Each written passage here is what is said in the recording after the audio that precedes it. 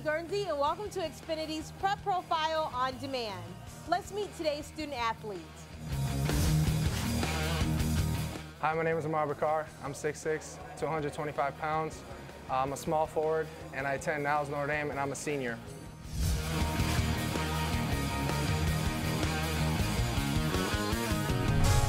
Definitely winning a conference. We went 9-0 in the league last year.